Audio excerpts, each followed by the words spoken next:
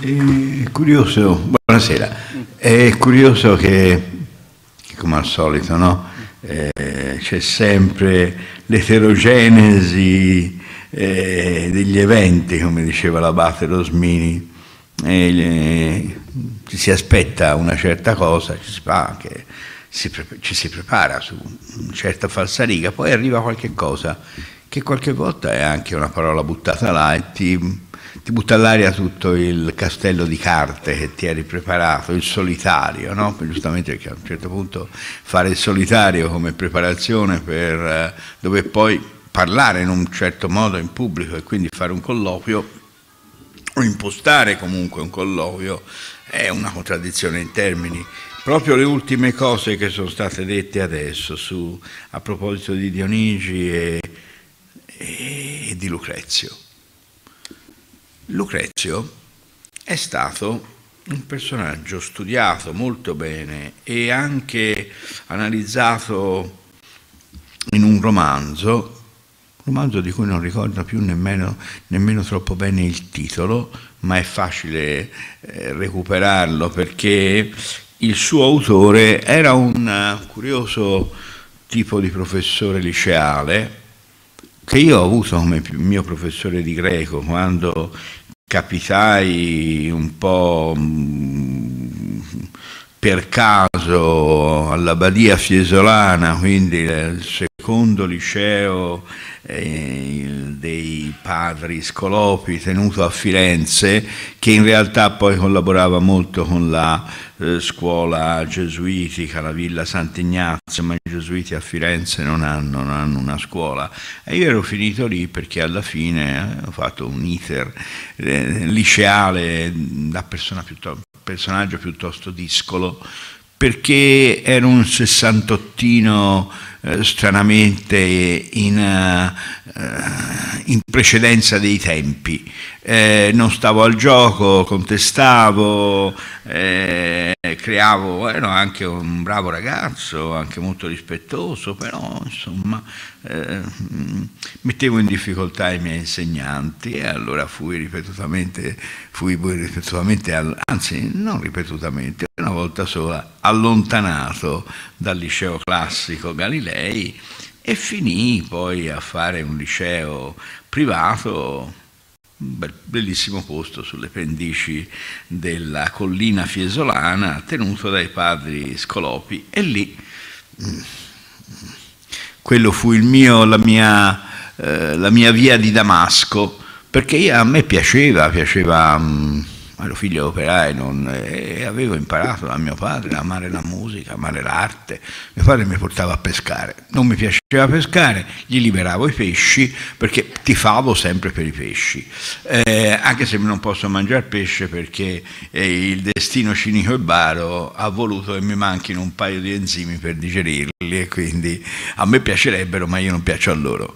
Eh, a mio padre piaceva il calcio eh, per dirvi, ora mi sono ricreduto, eh, ma fino a che punto io, un ragazzo, ragazzino superbo, perché avevo letto tre libri e come tutti i ragazzini hanno letto tre libri, sono convinti di avere in mano il mondo, insomma. E allora io dicevo a mio padre, che era grande tifoso della Fiorentina, e tifoso all'antica, di quelli che applaudivano anche gli avversari quando gli avversari erano bravi, e quindi mi ha insegnato anche questo tipo di realtà che io apprezzavo già molto, però a partite di calcio oggi mi piacciono abbastanza, non ci vado matto, ma comunque allora proprio le, le detestavo e facevo del male a mio padre, eh, il quale avrebbe voluto portarmi con lui alla partita la domenica.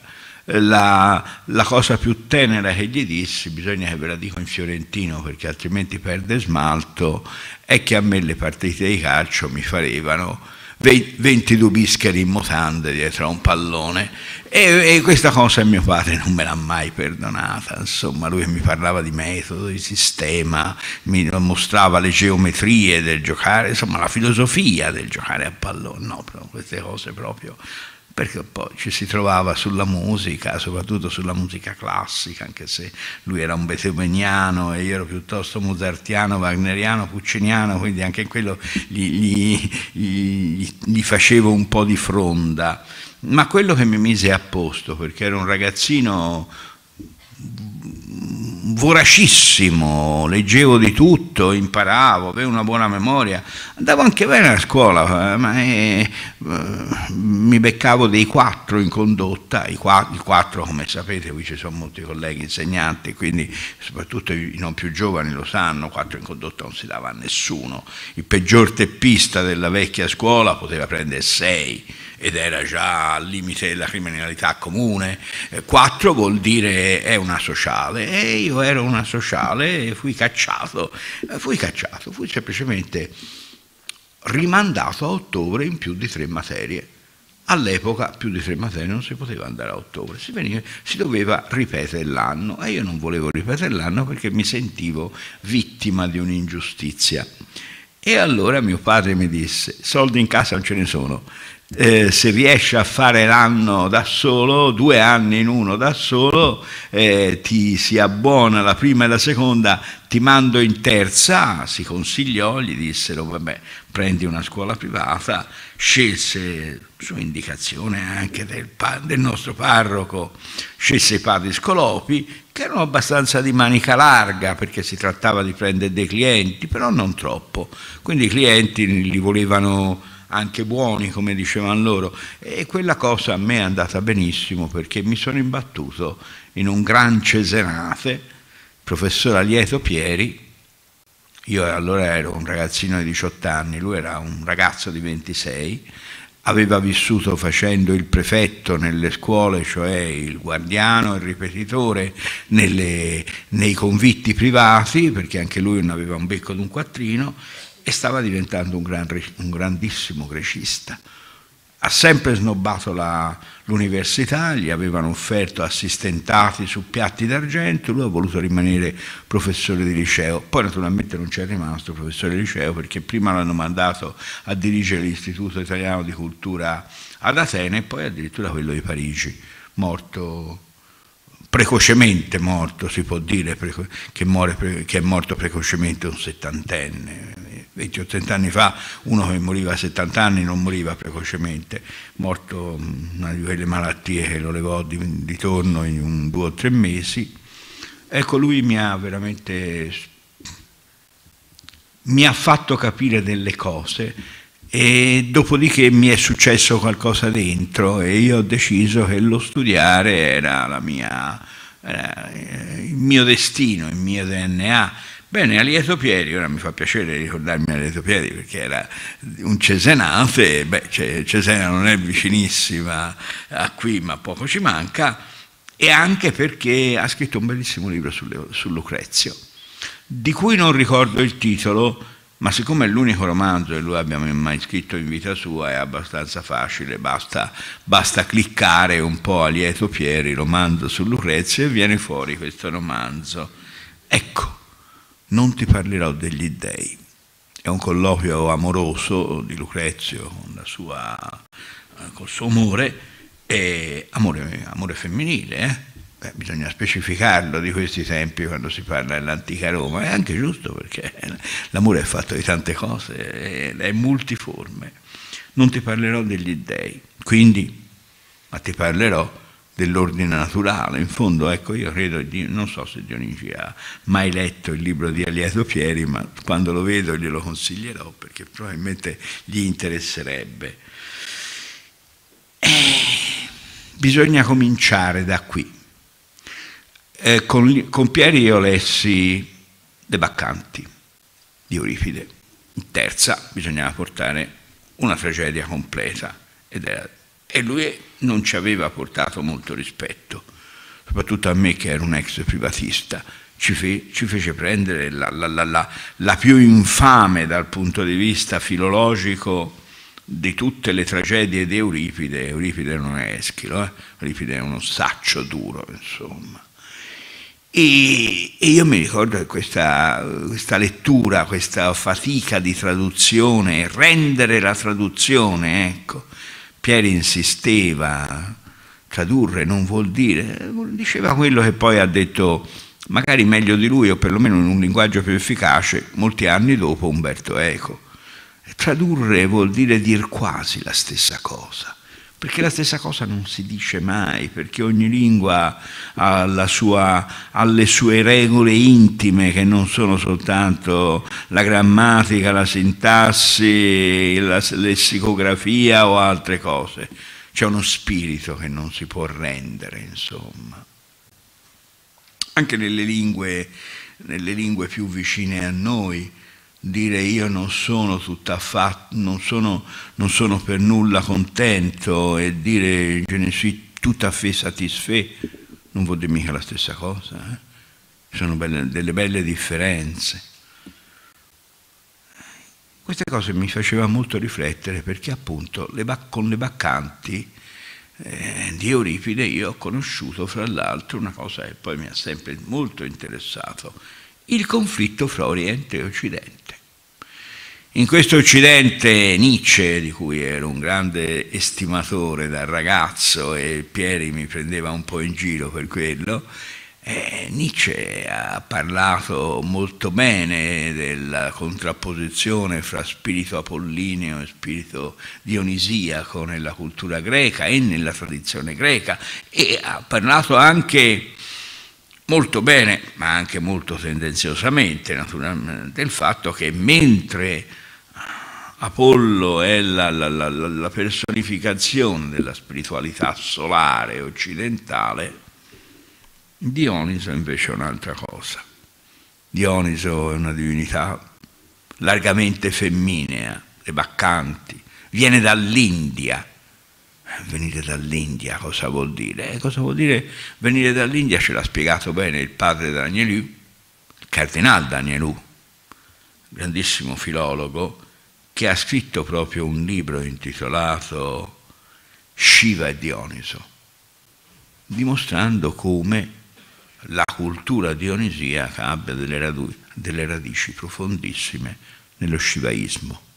E quindi in realtà la cultura dionisiaca sia un tipico portato di quella migrazione dei culti, dei miti, eccetera, da cui sono nate tante cose, l'idea del viaggio oltremondano, l'idea della cultura eroica o come diciamo noi occidentali, eh, semplificando un po' cavalleresca, tutte cose che noi possiamo seguire e che hanno eh, nella storia, nella filologia e nell'etnologia, o se preferite proprio nell'antropologia, uh, un ductus, uh, un iter, che è molto simile a quello delle vicende della, della specie umana, la migrazione dei popoli, che come le epidemie, come tutta una quantità di cose, vengono da Oriente e vanno verso Occidente, quasi seguendo il corso, in un certo senso seguendo o opponendosi alla,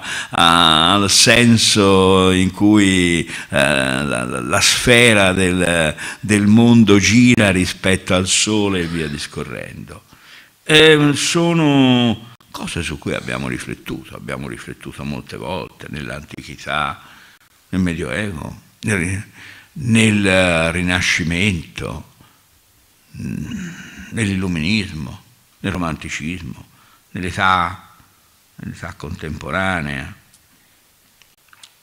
Mm, da principio mentre appunto mi veniva fatta questa eccessi, eccessivamente benevola presentazione, eh, si è parlato del credo qui absurdum, la possibilità che l'Europa rinasca come tale e poi rinasca, ma è già nata? È già nata, c'è stata qualche volta in cui l'Europa si è trovata unita, comunque l'impossibile rinascita dell'Europa, beh, il credo qui absurdum, Credo nell'Italia e nella sua impossibile rinascita, che è un verso che io ho parafrasato sostituendo la parola Italia con la parola Europa, è un verso dei Cantos di Ezra Pound, eh, che come sapete era un grande nichilista.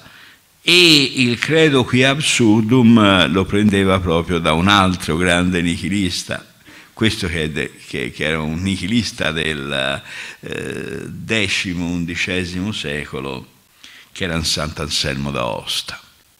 Credo perché quello che il dogma mi propone è assurdo, proprio la, la, la, grande rivoluzione cristiana buttata in faccia alla chiesa, alla chiesa cristiana stessa. Hai voluto ereditare la tradizione ebraica e ti sei messo immediatamente contro la tradizione ebraica. Eh, a me mi fanno ridere questi che parlano della nostra cultura dicendo la cultura ebraico, la nostra cultura ebraico-cristiana. Cosa vogliono dire? Che il cristianesimo viene fuori dall'ebraismo, e certo che il cristianesimo viene fuori dall'ebraismo, allora mettiamoci anche l'Islam, che viene fuori da tutte e due, dall'ebraismo e dal cristianesimo, perché se di cultura ebraico-cristiana si vuol parlare dicendo ma i cristiani leggevano la Bibbia, eh sì, ma non mancavano mai quando la commentavano la Bibbia, perché la Bibbia eh, la si è imparata a commentare da prima di San Paolo, a un certo punto poi eh, l'agostiniano Lutero che di interpretazioni ne aveva fin sopra i capelli perché gli avevano rovinato l'infanzia e l'adolescenza ha sbottato e ha detto ma insomma fate piazza pulita nella vostra miserabile cultura e state a ascoltare una buona volta la parola di Dio invece di stare sempre a chiusarla. Infatti nelle Bibbie protestanti non c'è una, una annotazione, è il fedele che deve annotare. Io da buon cattolico e da buon professore inorridisco davanti all'idea di quello che il fedele può tirar fuori dal libro dei, dal libro dei Salmi o dall'Ecclesiaste, eh, ma tant'è.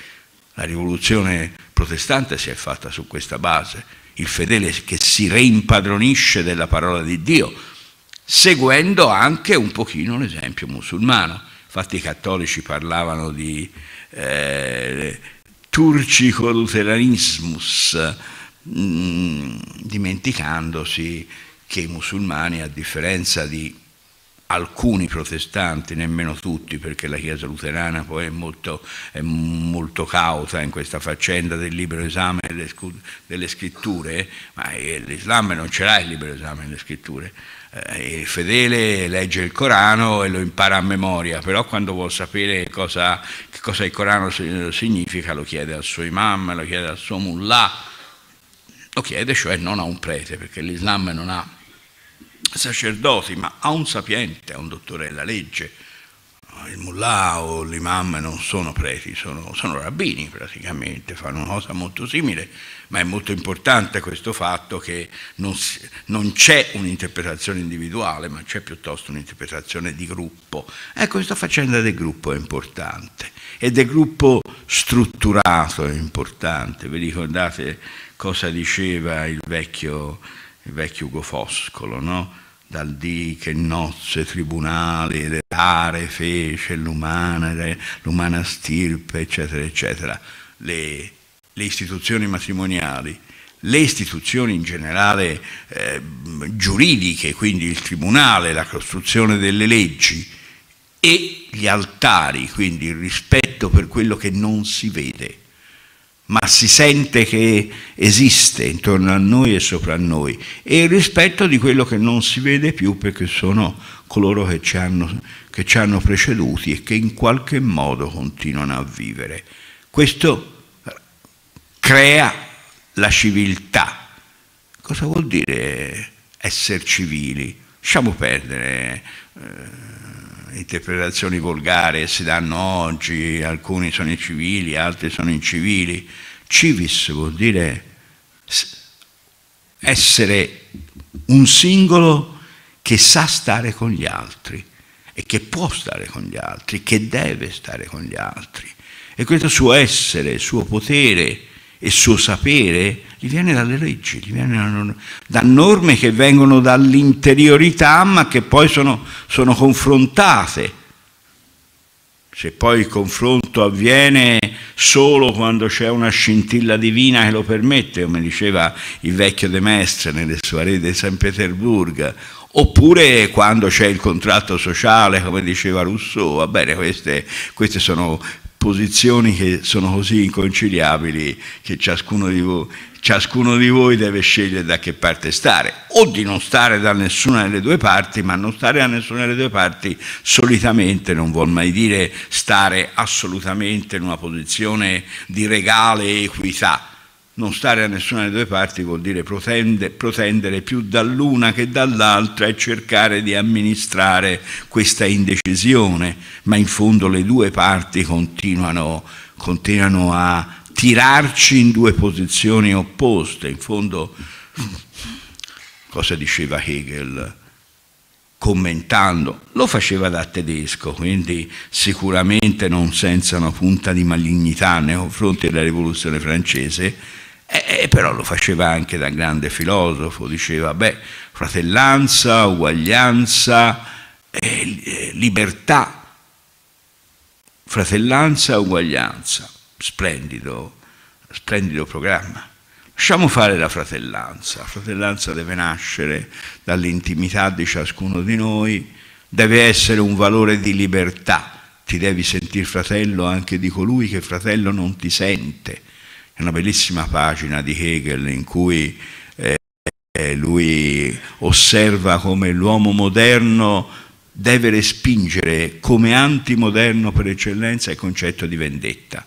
È una pagina che andrebbe fatta leggere al dottor Netanyahu se non, l'ha, letta, come non credo che l'abbia letto, ma d'altra parte il concetto di vendetta è un concetto che nel mondo ebraico nel mondo islamico è perfettamente legittimo. È il mondo non più cristiano, perché noi non siamo più cristiani. Oddio, ciascuno di noi può essere anche cristiano, io personalmente mi ritengo credente e praticante, le mie figlie dicono che sono più praticante che credente. E forse hanno anche ragione, ma in ogni modo noi siamo sicuramente come società, siamo, non siamo una società dimentica del cristianesimo o diventata perfettamente laica, probabilmente non lo diventeremo mai, ma una società post-cristiana forse sì e io uso il termine post-cristiano anche in, in un'accezione positiva, in fondo. Si ha voglia di dire sì, vabbè, in fondo non è nulla di quello che ci hanno raccontato nella metafisica, nella mistica, eccetera, esiste e se esiste nulla è scientificamente dimostrabile. Anche perché, badate, anche qui c'è una bella fregatura, eh? la cultura occidentale è complicata noi quando diciamo che una cosa è indimostrabile non vogliamo mica dire che è logicamente inconcepibile. Eh, noi non, non, non, siamo arrivati a un livello di finezza molto diversa dalla grande finezza eh, dei greci, dei romani, degli indiani, dei cinesi, dei persiani, mm, perfino degli, eh, degli amerindi precolombiani, che avevano le loro forme di filosofia o di, di teologia, di mistica molto sviluppate. Però c'è un minimo comune denominatore in tutte le civiltà che non sono la civiltà che noi chiamiamo occidentale, quindi l'eredità ebraico-ellenistica più l'elemento proprio del diritto romano passato attraverso l'esperienza dell'impero romano e quindi che ha fatto quei valori, è stato alla base di quei valori che noi chiamiamo valori occidentali classici. Tutte le altre culture, meno quella, eh, quando parlano di logica, quando parlano di dialettica, e ciascuno nelle loro lingue queste parole, questi concetti li conoscono, alludono ai principi, a principi di logica pura, che liofilizzati, come è giusto fare alle 10 di sera, suonano in questa maniera.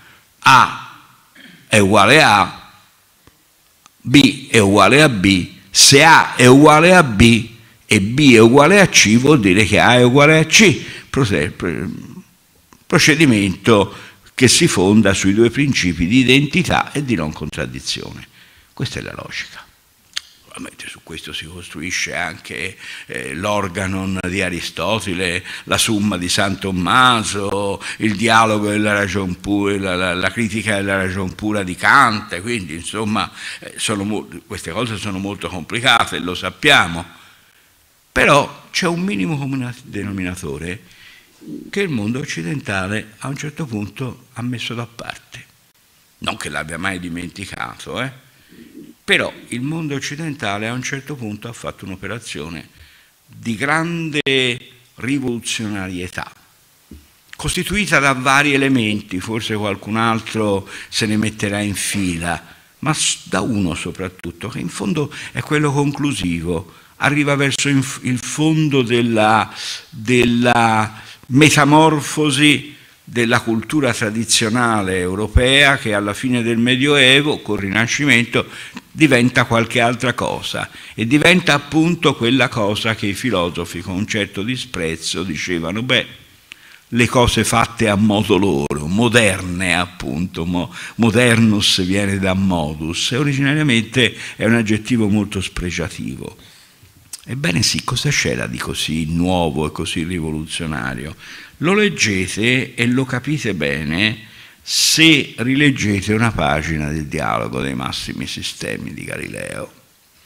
Quando Sagredo se la prende con Simplicio tanto per cambiare, non vi preoccupate se avete difficoltà a ritrovarle queste cose, perché io detesto farmi propaganda, ma in una pagina della deriva dell'Occidente questo pezzo l'ho citato in estenso e l'ho citato commentandolo anche alla luce di un mio carissimo amico che è anche un pochino un interlocutore quasi avversario in quel libro che è il professor Aldo Schiavone, che è, a differenza di me, un cantore entusiasta dell'Occidente. Io non sono affatto un anti-occidentale, eh? io sono fiero di essere occidentale. Sono occidentale fino alla radice dei capelli.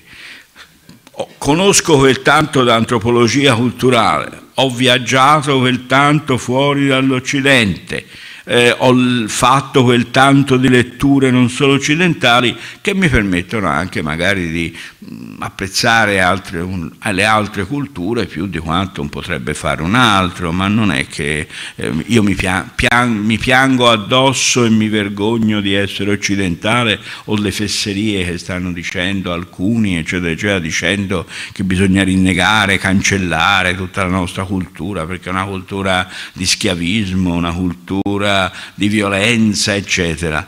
Eh, io corre- mi permetto nel mio piccolo, naturalmente, di correggere tutto questo, lo capisco questo atteggiamento. Poi è un atteggiamento di molti dei miei allievi e delle mie allieve, ancora oggi. Però ci introduco una, una variante. Non è che mi vergogni dei miei antenati, anzi, me ne vanto un pochino, mi stanno anche molto simpatici.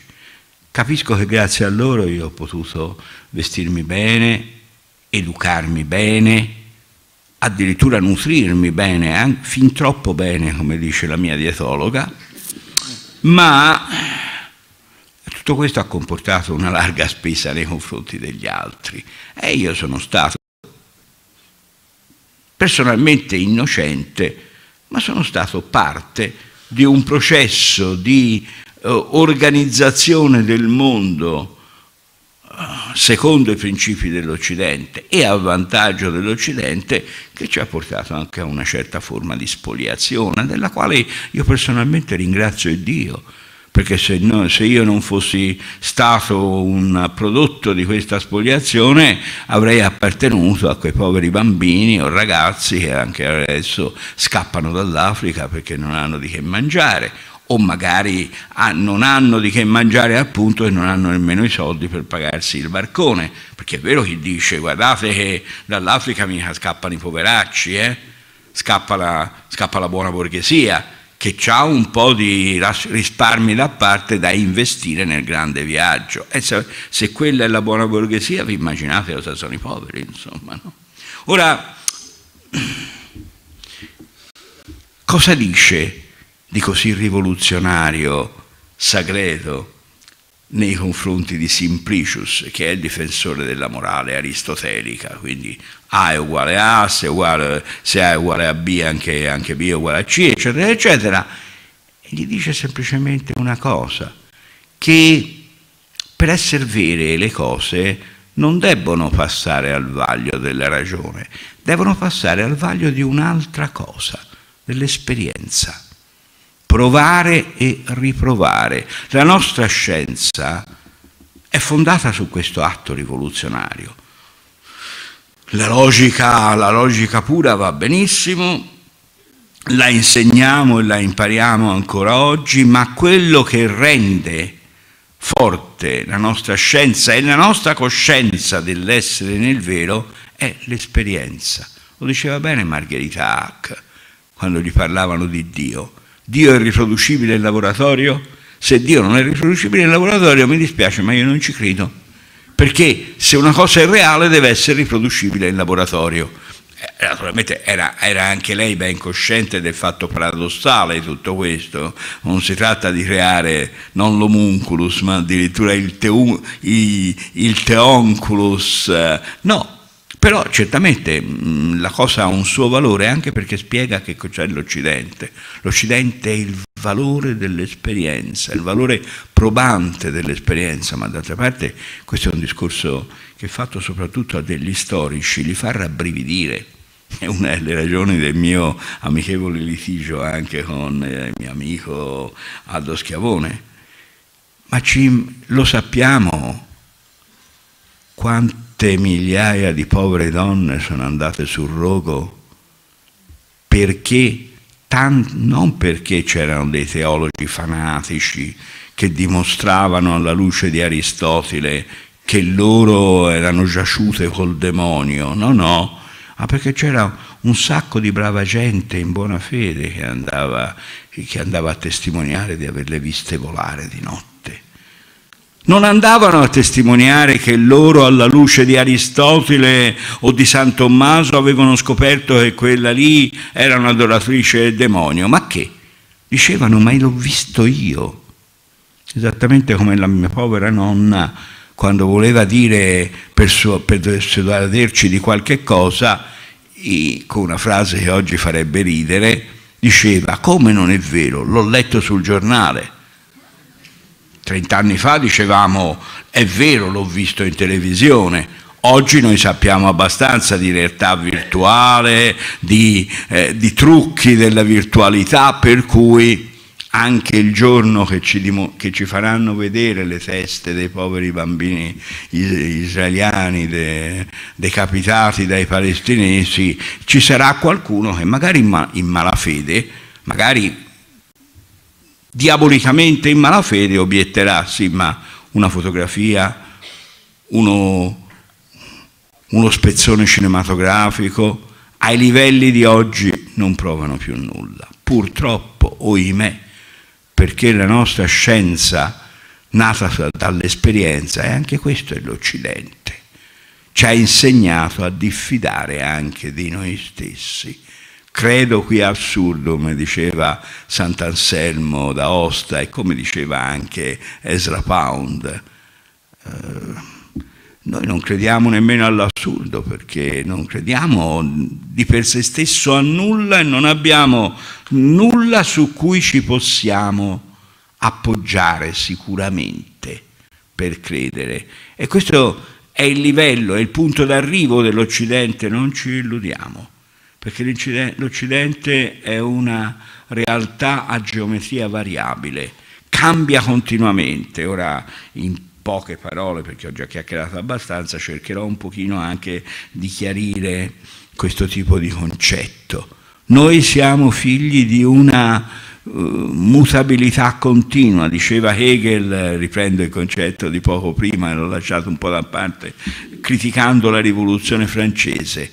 Libertà, uguaglianza e fratellanza. Lasciamo perdere la fratellanza, valore sublime, difficile, anche da accogliere e anche da definire.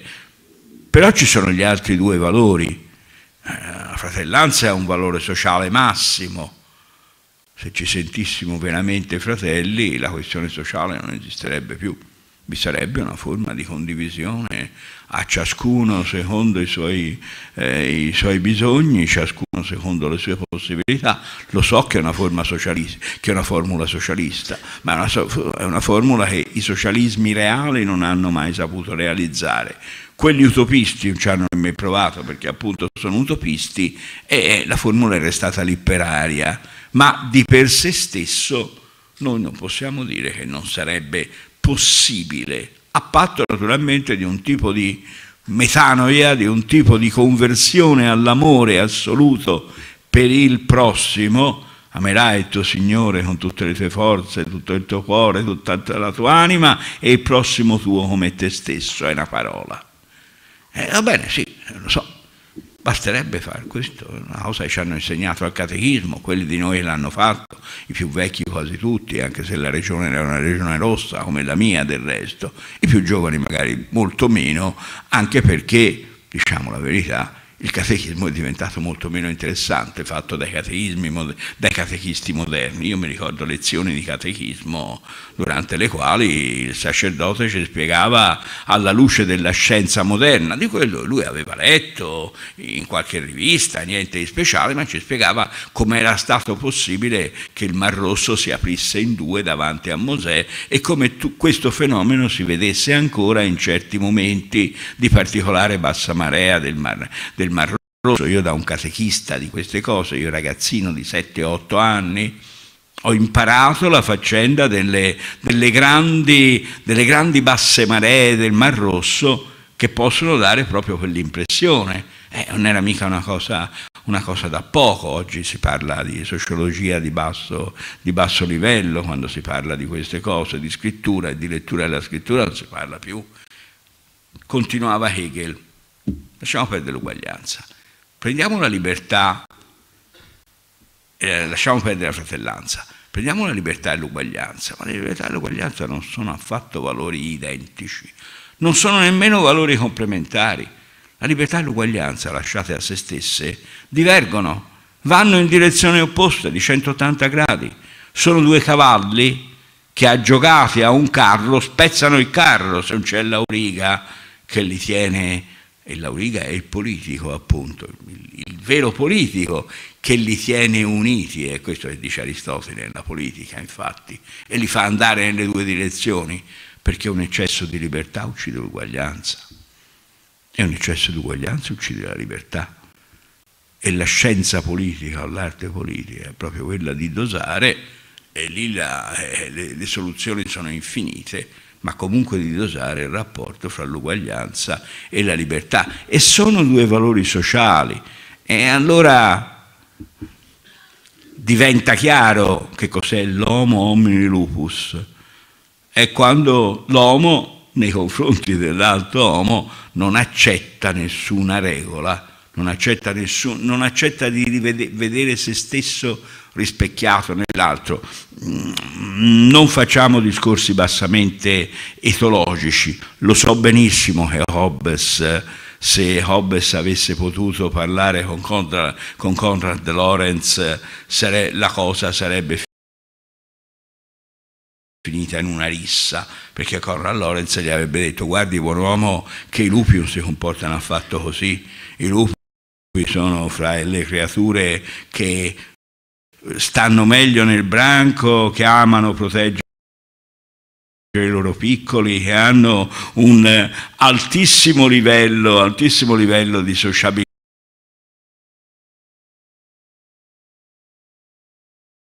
non sono affatto quella cosa che lei, che lei, ha imparato perché ha visto qualche volta dei cani, cani e non lupi, quindi non, non non addestrati e magari corrotti dall'uomo, dei cani che si azzannavano con dei bovari canadesi che facevano le, le, le scommesse sopra. Il lupo non si comporta così, i lupi non si comportano così. Tanto che il lupo, notoriamente, quando è solitario, è un animale timido, attacca soltanto quando ne può più dalla fame. Ecco, questi valori questo Occidente che mangia se stesso alla fine, viene dall'Oriente, lo sappiamo e viene dall'Oriente. Allora dov'è il conflitto di civiltà? Eh, Arianna, figlia di Minosse, Minosse, fratello di Medea, figlio del sole, un dio. Arianna, nipote di un dio, incontra Teseo, anche lui a sua volta nipote di un dio perché Egeo, eccetera, eccetera, è tutta roba che Esiodo spiega benissimo. Questo connubio molto tipicamente occidentale, si direbbe, ci hanno ricamato sopra tanti umanisti o tanti illuministi. Teoseo è quello che uccide il Minotauro, è quello che uccide l'animale che è in ciascuno di noi e uccidendo l'animale che in ciascuno di noi viola il segreto naturale del labirinto e lo, e lo traduce in termini di liberazione, dal labirinto si esce si esce grazie al filo della ragione dato appunto da Arianna dopo che Teseo gli ha ucciso il fratello ad Arianna. E insomma, c'è sempre un fratricidio alla base delle, delle civiltà, no? Vedasi Caino e Abele in fondo, Arianna il Minotauro eh, il Minotauro è un ucciso dal dalla sorella per interposto eroe che arriva e che c'è. Dopodiché cosa fa? Teseo tradisce Arianna e l'abbandona dopo che deve tutto ad Arianna. Da chi è salvata? Dal Dio che viene dall'India, da, dal Dio Shiva che diventa l'inventore, l'inventore della bevanda inebriante per eccellenza. Cos'è la, la, la eh, bevanda inebriante? È quello che gli Aztechi dicevano il sangue e la polpa di Dio. Loro lo dicevano del mescal, ma praticamente è una bevanda allucinogena. E le bevande allucinogene non si assumono per avere degli incubi o per avere dei piaceri erotici eh, subcorticali, eh, si assumono per vedere gli dèi, per penetrare il mistero dell'universo che non riusciamo a penetrare con la natura. Se voi parlate con un vero grande drogato, no? con un povero ragazzo di quelli che, che si bucano per quattro soldi, no, no. E lui vi dice, sempre, vi dice alla fine, col suo linguaggio, vi dice sempre, vi dice sempre questo. Si torna in fondo alla stessa grande verità della penetrazione nella natura. E allora lotta fra Oriente e Occidente, ma dove si è vista la lotta fra Oriente e Occidente? I troiani contro gli ebrei, eh, scusate, i troiani contro i greci? Chi ci ha detto che gli, i greci erano più occidentali dei troiani in fondo? Semmai i troiani più che orientali erano, erano nordici rispetto ai greci avevano delle forti affinità con gli sciti, con i sarmati, con le, con le culture del Caucaso e infatti erano migliori, questo ce lo dice anche l'Iliade, migliori eh, fabbri, anche se l'Iliade si svolge in un'età che non è ancora l'età del ferro, è ancora l'età del bronzo, migliori fabbri di quanto non fossero i greci, avevano armi migliori.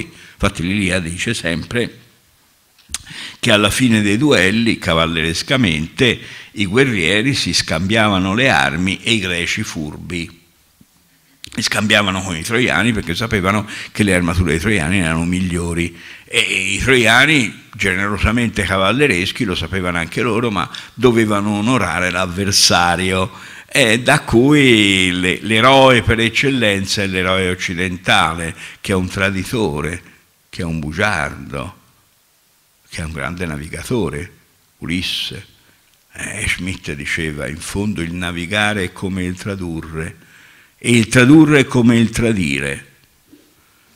Il navigatore, il traduttore e il traditore passano da una parte all'altra di una sponda oceanica, hanno il, la, la formula che serve per capire due sponde diverse di una stessa, di una stessa situazione in cui le culture sono separate, ma sono separate da una forma di differenza, di difficoltà linguistica.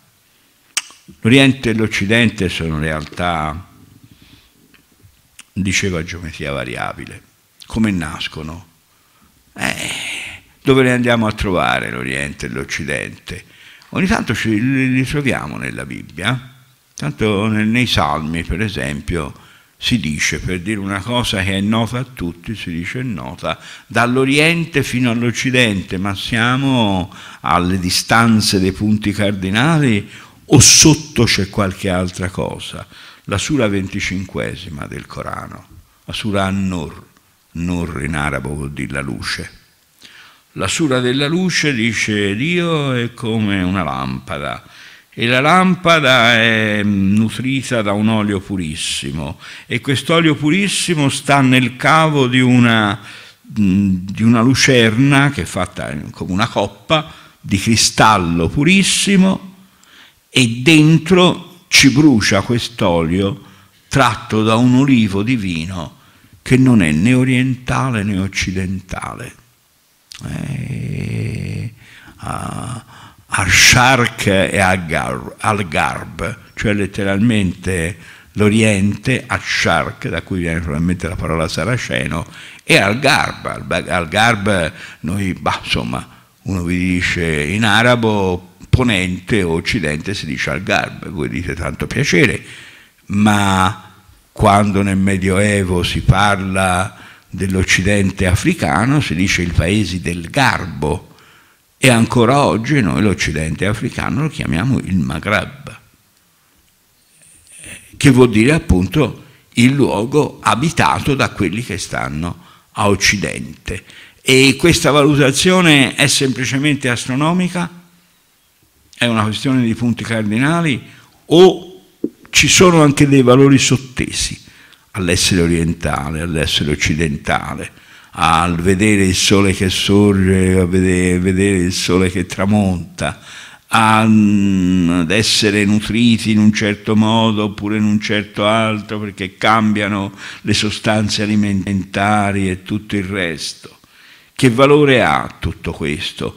Eh, noi non lo sappiamo, però ecco, possiamo seguire eh, l'iter di queste parole, Oriente e Occidente, che spesso sono complementari e spesso sono contrapposte, eh, le vediamo dalle civiltà più antiche, siccome l'ora è tarda e eh, voi non avete nessuna voglia di far nottata facendomi enumerare, poi la, la memoria mi tradirebbe, eh, tutte le civiltà antiche, prendiamo dei, dei, dei, dei piloni, dei punti che possiamo ricordare, per esempio nell'Iliade questa opposizione fra Oriente e Occidente tutto sommato non c'è noi l'abbiamo visto l'occidentale per eccellenza in Ulisse, Ulisse è uno dei grandi eroi dell'Occidente, sì, però il nostro Ulisse è l'Ulisse dell'Odissea riletto, riletto dai Romani, così vi è noto Ulisse, eccetera, eccetera, Timeo, Danaos, Ettedona, Ferentes,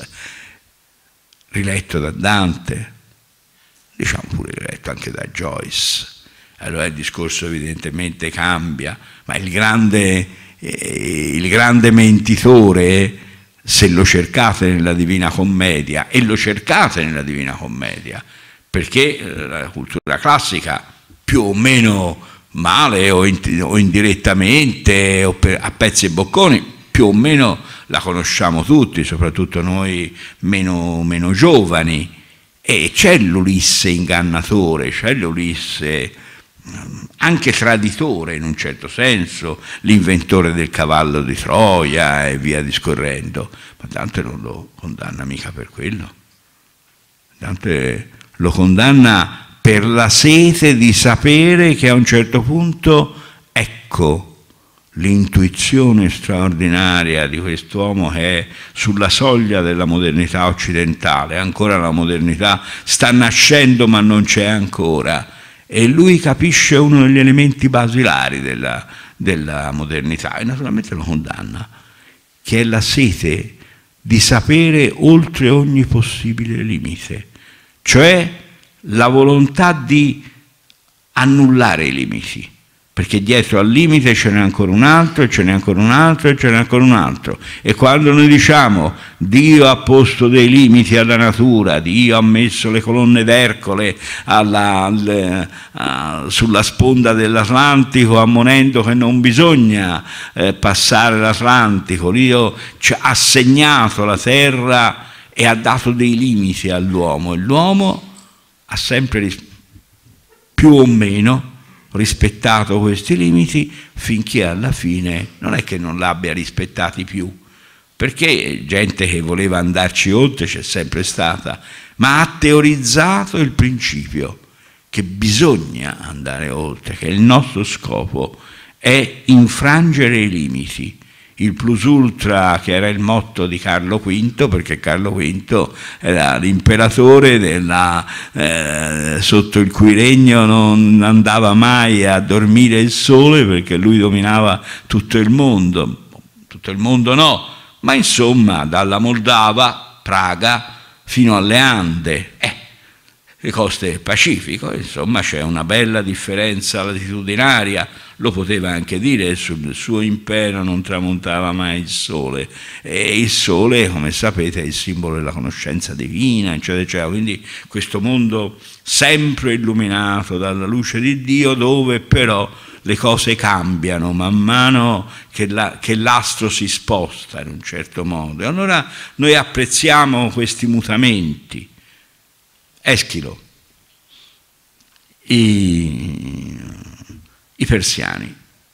Il secondo coro, quando eh, i persiani si chiedono, dopo la, la sconfitta di Salamina, come è stato possibile il più grande esercito del mondo sia stato battuto da quattro gatti di pecorai che non sapevano nemmeno andare a cavallo, non combattevano a cavallo, stavano a piedi, appiedati, ostinatamente legati a difendere il loro miserabile campicello, eccetera, tutti in fila, un atteggiamento molto antieroico, opponendo le loro lance messe a 45 gradi alla, alle eh, ondate della cavalleria persiana. I persiani combattevano con gli archi, erano molto poco difesi non, aveva, non conoscevano praticamente armi di difesa.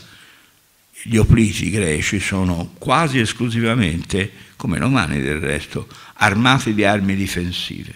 Hanno pochissime e mediocri armi offensive, le lance, il gladio romano, che per carità era fatto di ferraccio dolce, infatti con, quando si scontravano con i germani li si spezzavano sempre i gladi, perdevano il filo di continuo, bisognava riaffilarli perché erano mh, mm, prodotti scarsi a livello di, ehm, di scienza, di scien della scienza del fabbro. La scienza del fabbro è stata affinata nel Caucaso e da lì si era diffusa in tutto il mondo, ma però veniva dall'Occidente, dall'Oriente, ancora dall'Oriente venivano le spade dei samurai o le spade o l'acciaio di Damasco. Gli occidentali erano scarsini al riguardo. Però avevano un altro tipo di organizzazione civile. I, I, persiani di Eschilo si pongono proprio questo problema. Chi vincerà? Vincerà il contadino che deve difendere la sua terra e ha a disposizione soltanto le sue armi difensive o invece il grande sterminato impero che può buttare allo sbaraglio migliaia e migliaia di cavalli e di cavalieri e com'è possibile che questi, eh, che questi resistano?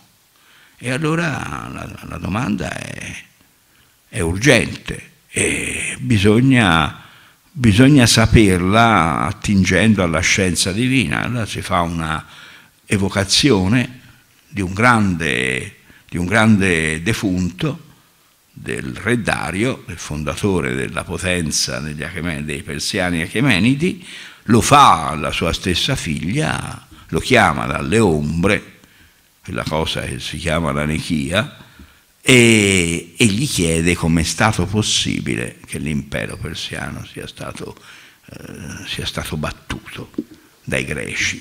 Noi abbiamo sempre visto in questo il primo elemento di scontro fra Oriente e Occidente, ma il problema è c'è stato solo lo scontro e quando c'era lo scontro queste due culture se erano due, se erano soltanto due, non abbiamo parlato di una cultura orientale e di una occidentale, abbiamo parlato dei greci e dei persiani. E se noi analizziamo la cultura greca e quella persiana, vediamo che non c'è tutta questa opposizione. Intanto la lingua greca e la lingua persiana sono due lingue molto affini, sono tutte e due due lingue indoeuropee del gruppo Satem, come il russo, come i linguaggi baltici e via discorrendo. Sapete, le, le, gli idiomi indoeuropei sono divisi in due grandi gruppi che i filologi chiamano col nome della parola cento, eh, rispettivamente in latino e in russo.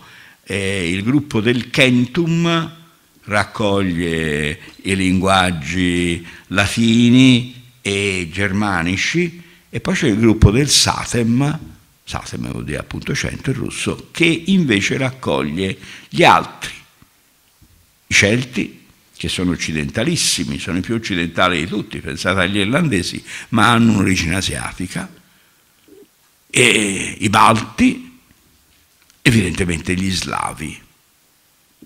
C'è già in tutto questo una divisione fra Oriente e Occidente e quasi quasi potrebbe preconizzare quelle attuali. Fa un po' un volo, un volo pindarico, si passa eh, da questi discorsi che sono nati da Eschilo a esaminare una battuta buttata un po' lì per la verità, da un uomo che è molto filo occidentale culturalmente come il presidente Putin, che parla col presidente Xi Jinping e che gli dice beh l'Occidente ormai si è schierato contro di noi o se queste cose le diceva Genghis Khan, ammesso che Genghis Khan potesse parlare d'Oriente e Occidente tranquillamente come se fosse eh, un discorso quotidiano e per lui non lo era, beh, noi non ci meraviglieremmo. Genghis Khan è un rappresentante puro dell'Oriente, anche con la sua forza barbarica, però queste cose le dice un russo che ha una forte cultura legata proprio alla Russia dell'Ottocento, che è un ammiratore di Caterina II, mm, nobile donna tedesca diventata ortodossa, trapiantata come zarina di tutte le Russie, però ha proseguito il programma occidentalizzatore di Pietro. E Pietro il Grande è quello che a un certo punto ha fatto una scelta fra un mondo che era ancora in gran parte vichingo, turco, persiano, perché questo era ancora il gran principato di, di, di Moscovia nel Seicento, e ha preso i boiari russi e li ha, fatti, li ha fatti vestire da nobiluomini tedeschi o francesi e gli ha fatto tagliare la barba per forza. E qualche volta insieme alla barba hanno sbagliato un po', gli hanno tagliato anche, anche qualche testa ma mm, Elisabetta, eppure, insomma, no, scusate Elisabetta, volevo dire Caterina, Caterina eppure amava la memoria di Pietro entro certi limiti, la sua grande capitale l'ha chiamata San Pietroburgo, però l'ha spostata da Mosca, perché Mosca è sempre sentita come una, come una capitale troppo orientale, troppo asiatica, e questo a Caterina dà fastidio. Caterina è la tra grande tra eh, trasportatrice della Russia in Europa. Queste cose Putin ne le sa, queste cose Putin le ha dette, le ha scritte. Putin non è soltanto uno che ha fatto eh, l'agente e magari anche la spia in Germania, e per farlo bisogna conoscere bene il tedesco. Putin era un innamorato della cultura europea. Putin era molto pur essendo uno yeltsiniano ai suoi tempi, i più anziani mi capiranno, i più giovani un po' meno, eh, perché parlo di cose di 30 anni fa, pur essendo a suo tempo un yeltsiniano perché gli conveniva, e in fondo era molto legato a questa visione di, di, del detestato Gorbaciov che aveva cercato errore e raccapriccio di salvare il comunismo, ma che nello stesso tempo diceva la Russia e l'Europa hanno una casa comune. Oh ma questa cosa della casa comune, Gorbaciov se l'era levata fuori dai grandi romanzieri russi dell'Ottocento, che perfino il più slavofilo di loro, Dostoevsky, lo dice sempre, noi russi siamo degli occidentali, occidentali nel margine ma degli occidentali, siamo occid europei in quanto siamo occidentali anche se come europei siamo degli euro orientali, e questo non è un gioco di parole, ma non basta, mm, c'è qualche cosa di più, di diverso. Questo discorso sul rapporto fra l'Europa e la Russia, eh, le, le, le, le profonde radici comuni, che passano naturalmente anche attraverso il cristianesimo, questo è evidente, E sono una cosa di cui si era accorto prima di Gorbaciov il generale, De Gaulle. De Gaulle eh, al tempo del grande strappo nei confronti della Nato parla dell'Inghilterra e dice no, no, bisogna fare l'Unione Europea anche come fatto politico. L'Unione Europea attualmente è una grande unione economica, eh, tecnologica, eh, finanziaria, militare, ma non è un'unione politica. Noi non siamo cittadini europei dal punto di vista politico, anche se ciascuno di noi eh, ha il passaporto e nel passaporto c'è scritto Unione Europea, ma noi non siamo cittadini europei dal punto di vista politico, da altri punti di vista sì.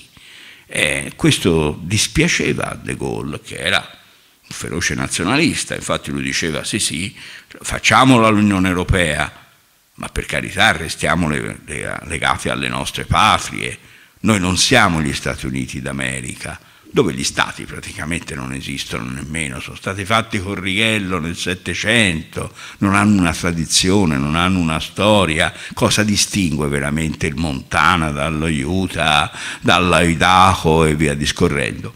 Esagerava, eh?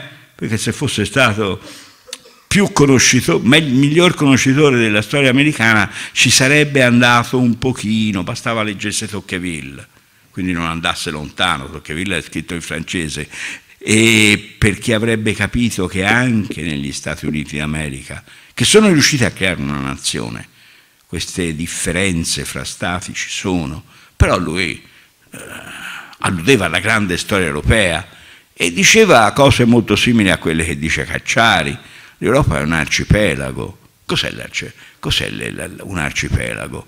Un arcipelago è una catena montana, che fino a un certo livello delle montagne è sott'acqua.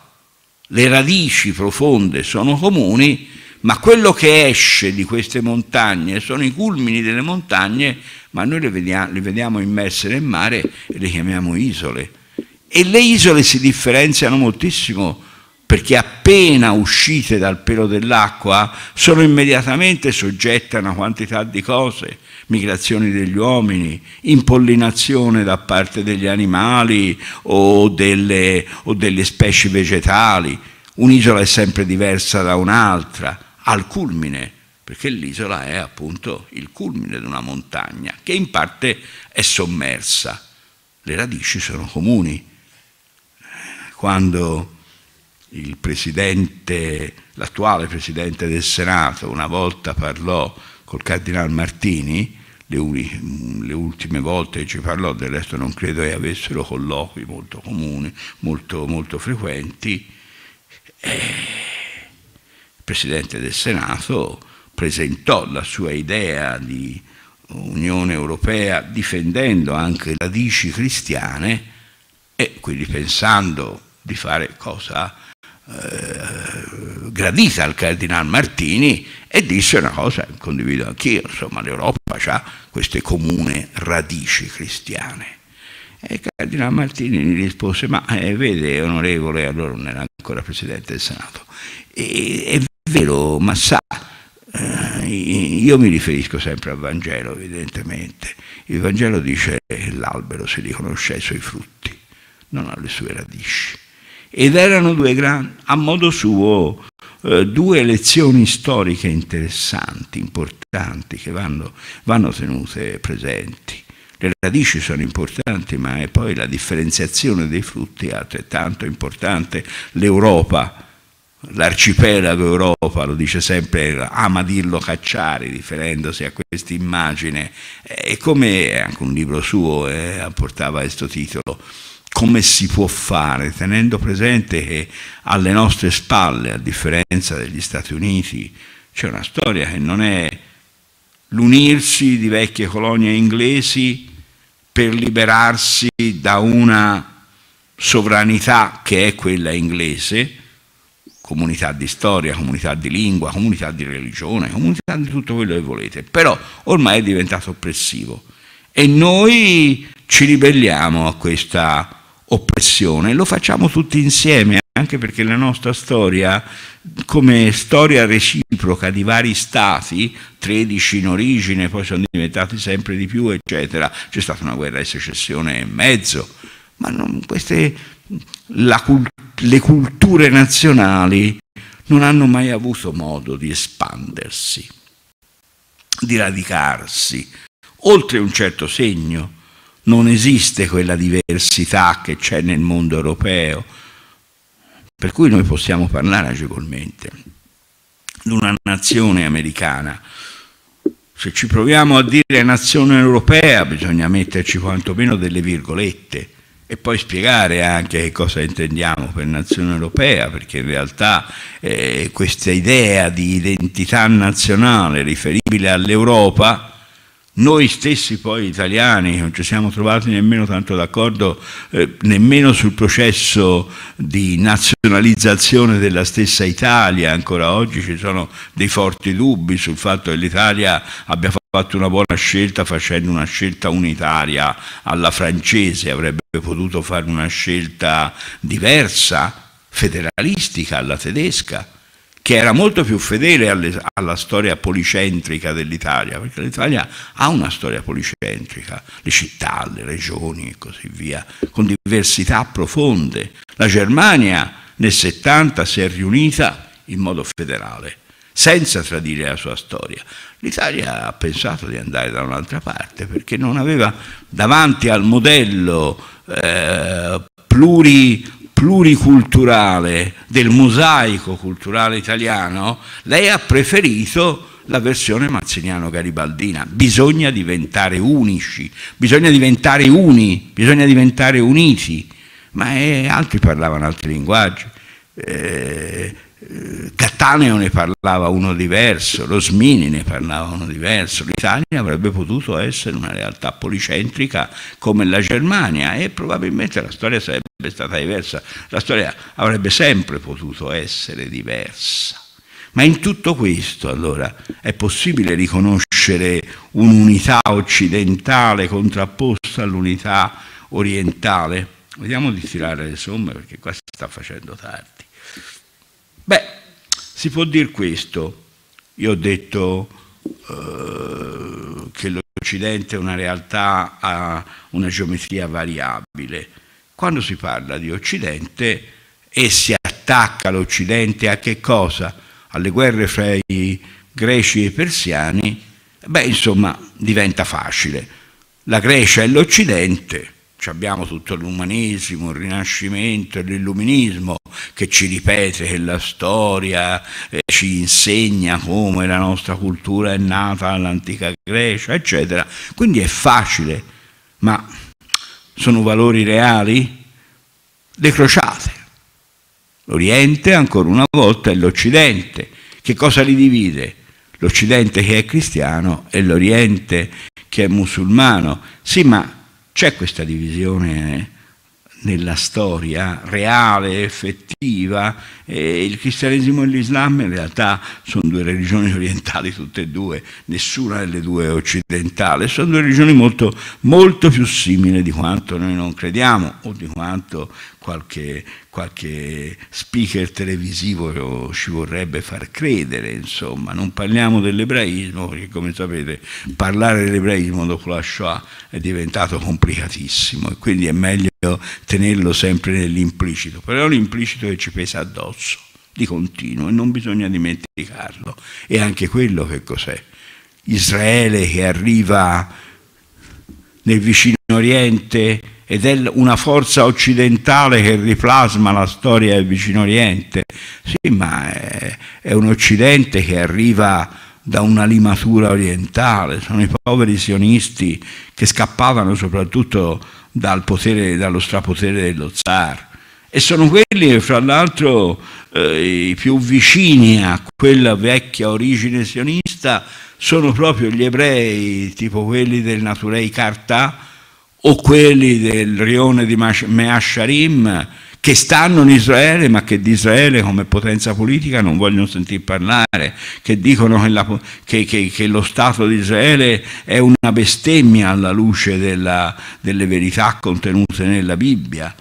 e sono dei, fondament dei fondamentalisti ebre ebraici molto simili ai fondamentalisti ebraici che invece pensano tutt'altra cosa e sono diventati eh, il pilone che sostiene questo malfermo coacervo di alleanze intorno a cui sta giocando Netanyahu. D'altra parte Netanyahu era assolutamente screditato, principalmente perché era un ladro. E queste cose le sapevano tutte in Israele e fuori Israele. Uh, Hamas ha fatto l'operazione magica, l'ha fatto diventare un eroe. È sempre così, insomma, quando uno Stato si sente attaccato, eh, una delle cose che fa immediatamente è stringersi intorno al capo, a, al capo di quel momento.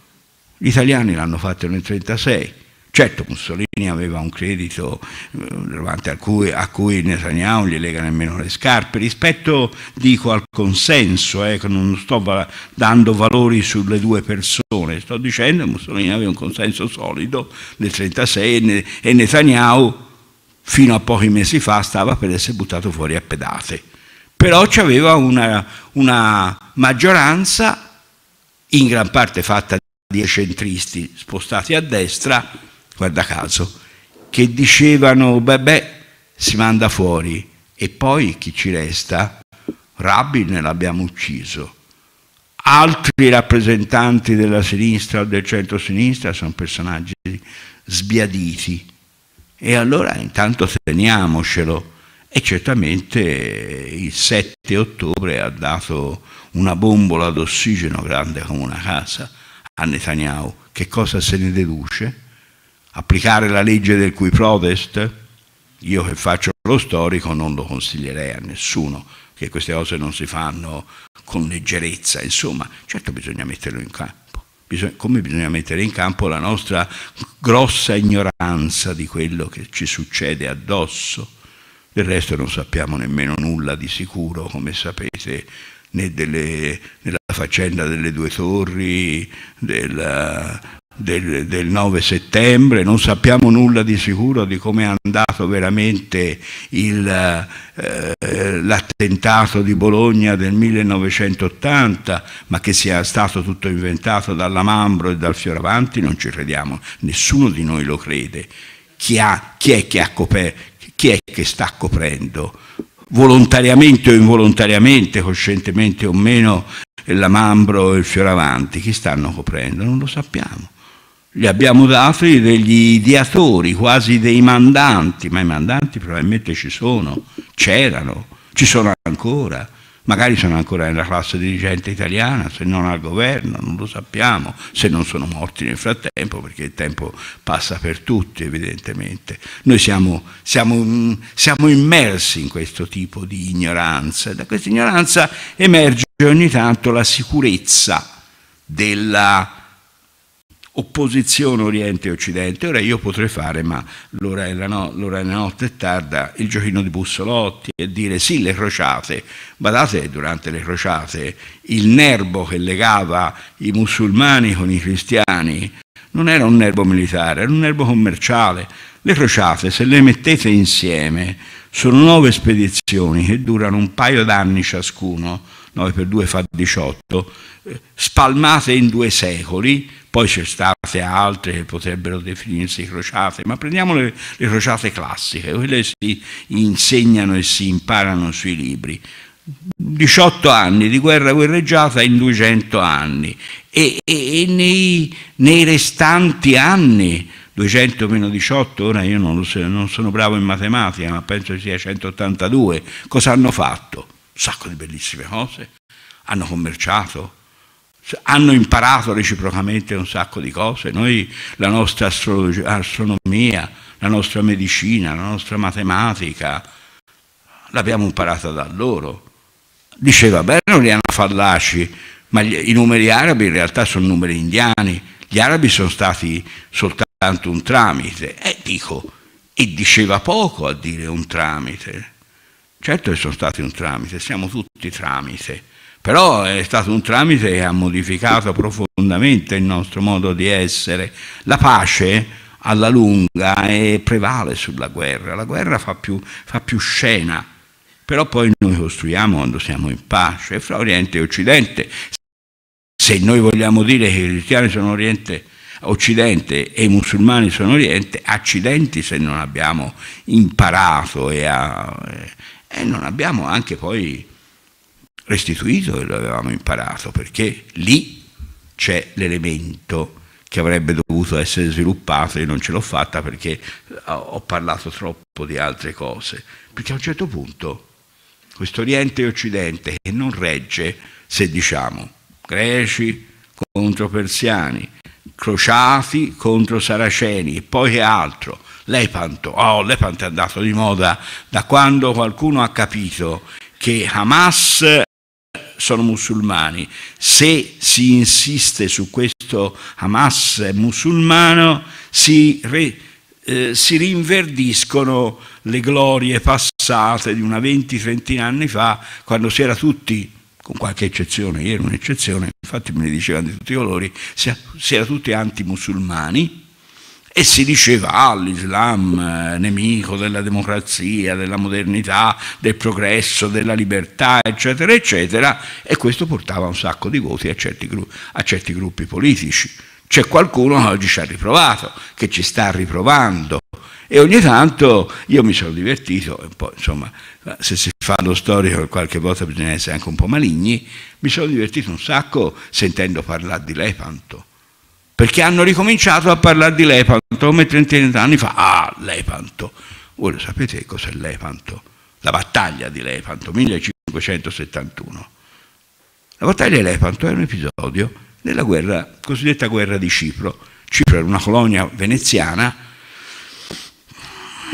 i contadini greci ortodossi che dovevano stare sotto Venezia ne avevano fin sopra le tasche perché Venezia ne faceva di tutti i colori, li voleva obbligare a cambiare confessione, a diventare cattolici, gli estorceva un sacco di soldi, di tasse e i contadini sapevano benissimo se fossero arrivati i turchi, contadini ortodossi greci, i turchi li avrebbero, li avrebbero trattati meglio, come i cristiani li avrebbero mh, mm, sottoposti semplicemente a una tassazione, il cosiddetto Haragi, che è modesta, perché i cristiani sono popolo del libro, non possono essere convertiti se non lo vogliono, hanno diritto a rispettare il loro essere depositari di una, di una rivelazione imperfetta. Questo secondo il modo di vedere che i musulmani hanno nei confronti dei cristiani.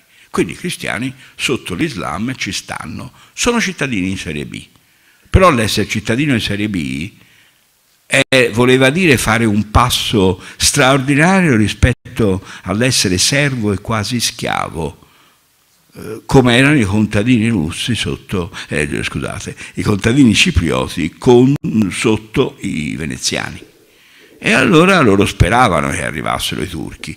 I turchi volevano conquistare Cipro perché conquistare Cipro voleva dire cambiare la geografia del Mediterraneo. È ovvio, la guerra di Cipro dura due anni All'interno di questi due anni ci sono delle battaglie, delle vittorie, delle sconfitte, alla fine Cipro resta ai turchi.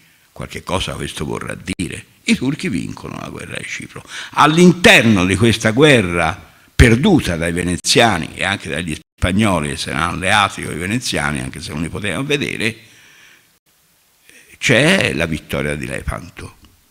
È una, è una battaglia vinta all'interno di una guerra perduta.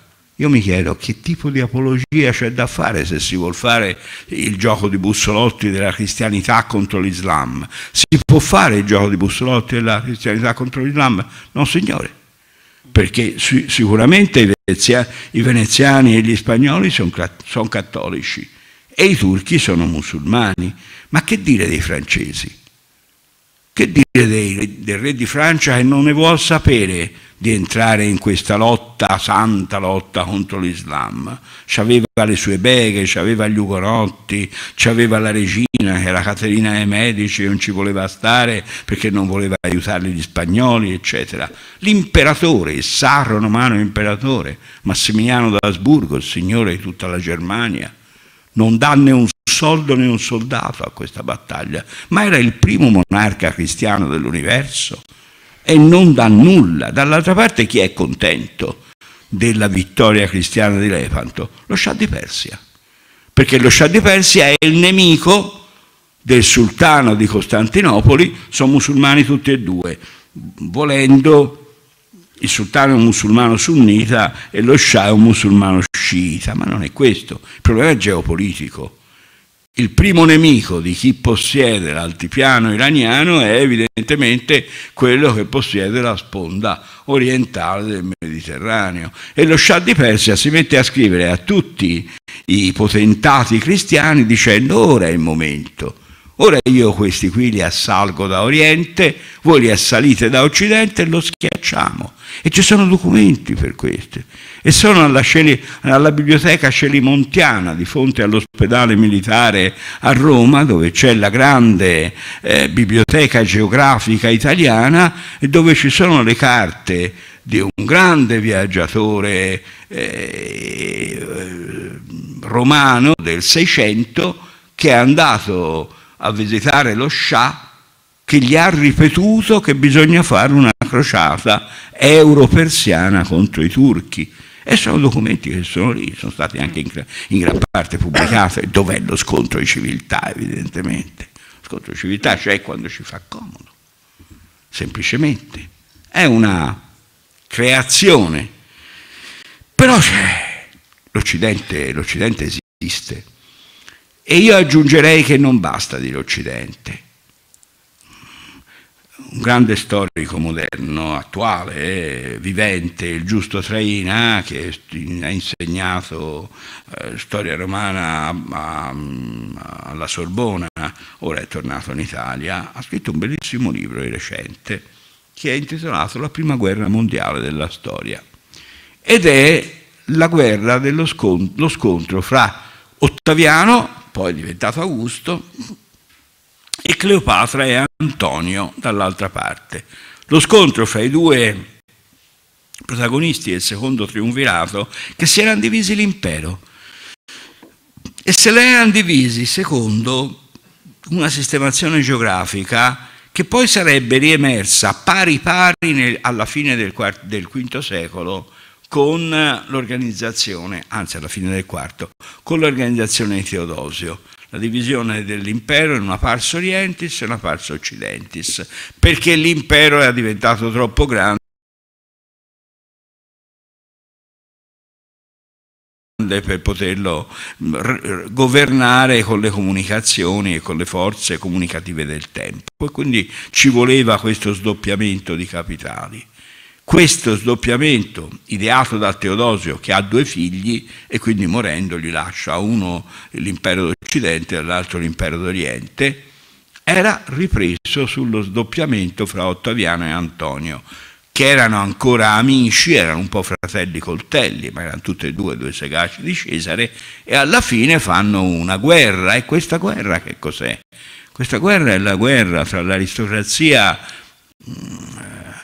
romana che non si vuole allontanare dai antichi costumi, eccetera, e una, una parte del mondo romano che è già strettamente legato al mondo alessandrino, al mondo eh, ellenistico e quindi agli imperi extra-romani, non a caso è legato alla regina d'Egitto, che è una greco-egizia, ed è legato a una greco-egizia che è una discendente di Alessandro Magno, che è quello che ha rovinato l'impero persiano e l'impero egiziano, ma poi li ha fatti suoi e ha fatto una cultura diversa, una cultura che è la cultura di Cesare, che è una cultura universale, una cultura di unione. Eh, quando Caracalla nel 131 dà la cittadinanza romana a tutti i membri dell'impero, a tutti i, i sudditi dell'impero che diventano cittadini romani, crea una, eh, un discorso di coesione, come si direbbe in greco, di coene dialectos, di, di lingua comune fra l'Oriente e l'Occidente, e lo fa coscientemente. Ma allora, in questo caso, e in altri casi che ora si, si potrebbe continuare molto a lungo, mm, enumerandoli, dove sono effettivamente queste differenze fra Oriente e Occidente? Sì, eh, Junger nel Novecento scrive a Schmidt, poi fa un saggio nel 1954, erano tutti e due eh, reduci dalle patrie galere perché erano tutti e due stati nazisti o fiancheggiatori del nazismo quando ricominciano a rioccupare un ruolo, come era giusto rioccupassero anche nella cultura, loro fanno un carteggio fra loro proprio sul problema Oriente e Occidente e lo fanno nel 54-55, cioè quando, in un momento in cui gli americani si sono inventati la Nato, i russi si stanno per inventare il patto di Varsavia e tutti dicono ecco un'altra resurrezione del vecchio conflitto fra Oriente e Occidente, sotto mutate spoglie, ecco la, la geometria variabile.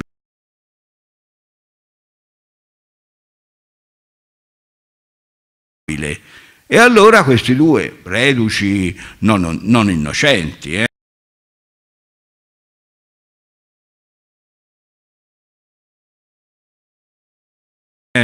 Schmitt è stato il grande legislatore ed era grande legislatore sul serio, è il più grande filosofo del diritto del Novecento, è quello che ha scritto le leggi Norimberga contro gli ebrei, insomma, eh. mm, non è esattamente una verginella, ma è anche Junger, tutto sommato. Loro dialogano e questo dialogo naturalmente il solito Cacciari ha fatto in modo che sia stato tradotto in un libretto pubblicato agli Adelfi che è intitolato Il no di Gordio, cioè la cosa si deve tagliare per risolvere, no? che è un libro prezioso. Sono due saggetti, eh? Juncker che dice a Schmidt, ma insomma, cos'è questo Oriente e questo Occidente? Io lo so, da buon tedesco, il nostro romanticismo l'ha capito, la, la grande fiaba eh, tratta da scaturigini, da origini persiane, cinesi, arabe, che poi è diventata, è stata fatta propria dalla tradizione occidentale, Boccaccio, Chaucer, il romanticismo tedesco. Insomma, in pratica, l'Occidente è la ragione, l'Occidente è la logica, l'Occidente è l'aspirazione alla libertà. L'Occidente sono le varie carte dei diritti dell'uomo, l'Occidente è la solarità della ragione, l'Oriente ragiona in altri modi.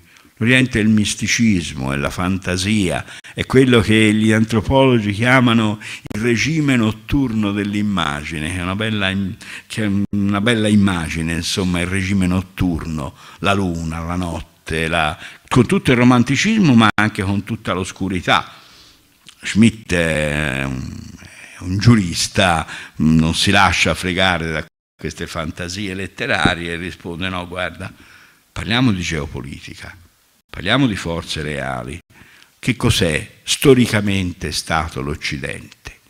L'Occidente è stato da quando noi occidentali abbiamo rivoluzionato il mondo inventando il modo di navigare sugli oceani, perché fino allora non si poteva navigare sugli oceani semplicemente perché non conoscevamo ve la velatura mobile. E quindi quando il vento cambiava e cessava di soffiarti in poppa, tu non potevi fare nulla, potevi restare fermo, potevi tornare indietro al porto, potevi naufragare, ma non c'era verso di sugli, di navigare sugli oceani. Per navigare sugli oceani bisogna dominare i venti. Come si fa a dominare i venti? La grande cultura cinese non c'è mai riuscita. Le grandi giunche, l'avete visto i film storici cinesi, no? Queste grandi giunche che circolano, che vanno nell'oceano all'assalto del Giappone. Cosa gli succede? Arriva il kamikaze, il vento divino, kamikaze vuol dire questo, soffia e le giunche cinesi vanno tutte, vanno tutte a fondo. Perché vanno a fondo le giunche cinesi? Perché il vento era forte? No, perché le giunche cinesi avevano, come i vichinghi, come i greci, come gli egiziani, le vele mobili, delle lenzuola che si mettevano appese a un albero e finché il vento girava, andava, ti, ti soffiava dietro, vento in poppa, si andava avanti. E se il vento smetteva di soffiare dietro, eh, eh, noi fra 2 e 500 abbiamo imparato già per navigare nel Mediterraneo, ma avevamo già chi cominciava a fare delle esperienze di navigazione atlantica, i genovesi per esempio, insieme ai catalani, noi abbiamo imparato a, a fare un sistema di vele che catturano il vento opposto come se fosse una palla da biliardo e lo rimandano con un sistema di, evidentemente di angolazione geografica, ben, ehm, geometrica ben studiato, lo rimandano sull'albero di maestra. Allora il vento opposto viene catturato dal velaccio, chissà di, di, di vele e di velatura capisce, e viene risospinto e diventa vento favorevole, vento in poppa. Naturalmente bisogna, bisogna governare le vele, bisogna muoverle di continuo, noi abbiamo inventato questo aggeggio che ci ha permesso di dominare i mari. Poi naturalmente dominando i mari eh, siamo entrati in, conf in, in, confronto e in conflitto o, o comunque in contatto con altre culture. Come si fa a dire alle altre culture, badate, voi non lo sapete perché siete un po' ignoranti, ma noi abbiamo il Cristo, noi abbiamo avuto Platone, abbiamo avuto Aristotele, abbiamo tutte queste belle cose, ve le regaliamo anche a voi. Certo bisogna che voi ci facciate, ci facciate una, contro, una controofferta, che vi sottomettiate e che magari ci, ci, offriate, ci offriate sotto costo o magari addirittura gratis tutta la forza lavoro e tutte le materie prime di cui noi abbiamo bisogno perché noi abbiamo capito una cosa, che i limiti al genere umano non esistono. Il genere umano deve andare sempre avanti. In fondo alle conquiste non, sono, non c'è un limite, ci sono altre conquiste. In fondo alle scoperte non c'è un limite, ci sono altre scoperte. In fondo alle invenzioni non c'è un limite, ci sono altre invenzioni. L'ha detto Galileo, l'ha detto Copernico.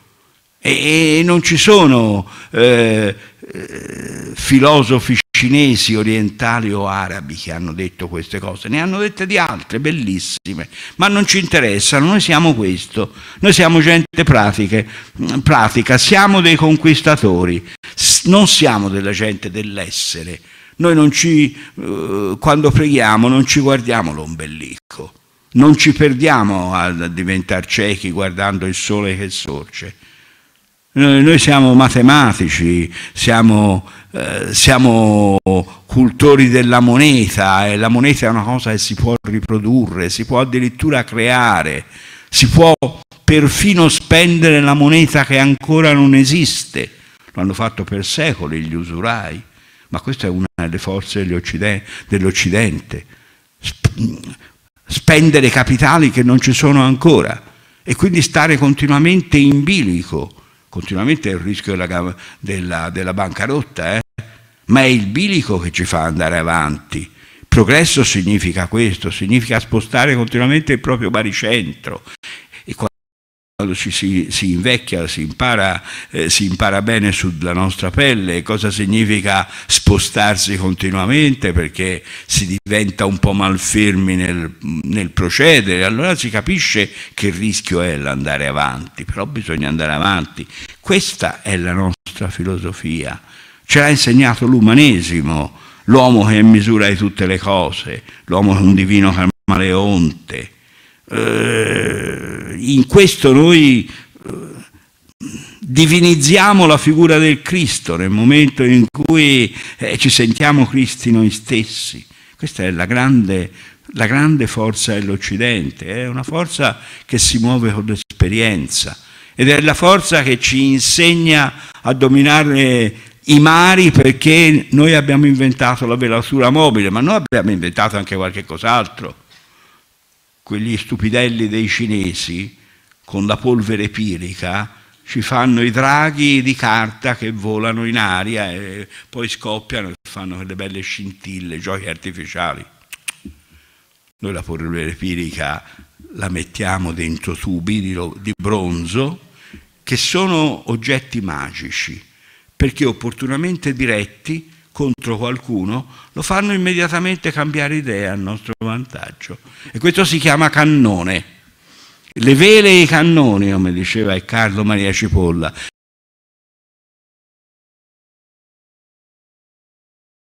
Queste sono le forze dell'Occidente. Mi dispiace datemi il fascista, ma io non riesco a vergognarmene di tutto questo. La differenza fra me e qualcun altro che se ne vanta, forse potrebbe essere questa, che quello che se ne vanta ha una visione puritana del suo vantarsi e dice ma in fondo noi occidentali abbiamo fatto dei miracoli, è verissimo, abbiamo fatto delle opere di bene a tutto il mondo, gli abbiamo insegnato la scienza, l'arte, la bellezza, eccetera, eccetera.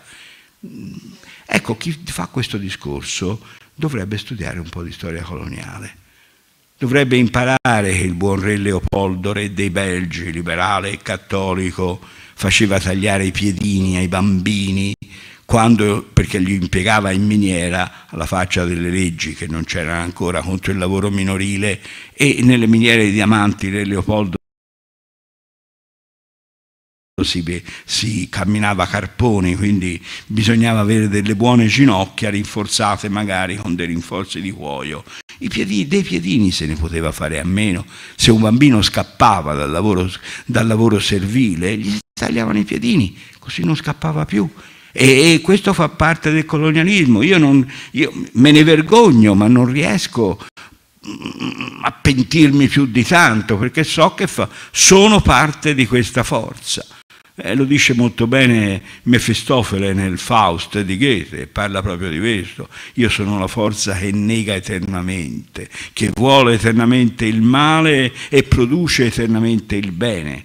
Questa è la, la, la visione che degli Occidente hanno personaggi come, non so, il professor Panebianco, per esempio, l'occidentale, hanno fatto tutto il bene del mondo e quindi meritatamente si sono conquistati il mondo e il mondo adesso è diventato col processo di globalizzazione e qui hanno ragione, a sua volta del tutto occidentale, per cui gli americani perderanno l'egemonia? Vabbè, chi verrà a posto degli americani? Russi lo escluderei. I cinesi? Ma i cinesi cosa sono? Ci riportano Lao Tse? Ci riportano Confucio? Ci costringono a vestire di seta e a bere il tè nelle tazze di porcellana dorate? Non ci pensano nemmeno, ormai sono diventati occidenti, occidentali anche loro di un occidentale diverso. Ecco, eh, a Junger che dice sì perché l'Occidente è la ragione, l'Occidente è la libertà, l'Occidente è la bellezza del corpo umano contrapposto all'Oriente che è fatto di dei e di mostri, all'Oriente che è fantastico, all'Oriente che è notturno, Schmitt dice no, parliamo terra-terra, parliamo di un'altra cosa.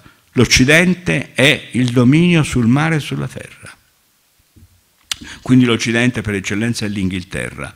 E oggi come oggi, già negli anni 50 si poteva già dire, queste cose le hanno scritte quando ormai la Nato e il patto di Varsavia erano contrapposte, più o meno come ora, mutatis mutandis, e questo Oriente e questo Occidente che confliggono sono portatori evidentemente di valori comuni ma anche un po' diversi. La diversità eh, Schmitt la spiega in termini molto geopolitici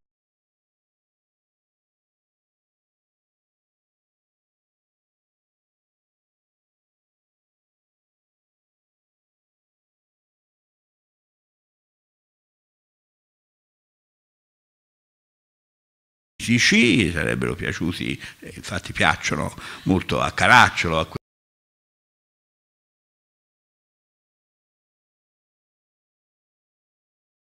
quelli di Limes dicono l'Oriente è la massa continentale. L'Oriente è la massa continentale che offre una resistenza alla dinamicità dell'Occidente che essendo massa continentale, massa oceanica, invade sempre da tutte le parti l'Oriente e lo costringe a difendersi, che tutto sommato, tradotto in termini molto più raffinati di come lo dico io, ma io ho fretta di concludere, eh, ma nella sostanza abbastanza grossolane anche quello, è quello che dice il filosofo di, di Putin, dice il professor Dugin praticamente, la, eh, l'alterità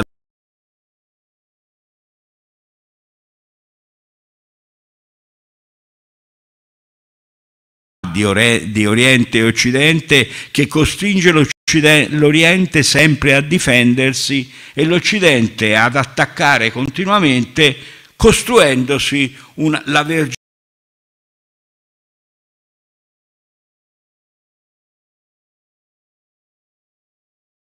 virginità della, di colui che deve difendere la sua libertà di colui che quando si muove non si muove mai per conquistare, si muove sempre per ristabilire la giustizia, per ristabilire l'ordine, per ristabilire la pace. Eh, sono poter, potenze evidentemente e modi di ragionare opposti che in certi momenti risalgono così alla superficie da illuderci, perché è un'illusione, che siano le forze che muovono la storia, non sono le forze che muovono la storia. Però in questo momento particolare noi stiamo vivendo un nuovo contrasto fra un Oriente e un Occidente ancora a geometria variabile, perché che cos'è diventato l'Occidente? Coincide con l'Europa?